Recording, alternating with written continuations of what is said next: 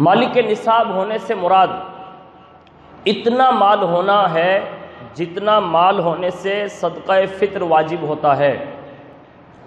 यानी हाजत असलिया के अलावा 200 दिरहम, यानी साढ़े बावन तोला चांदी या 20 दिनार, यानी साढ़े सात तोला सोना का मालिक होना है।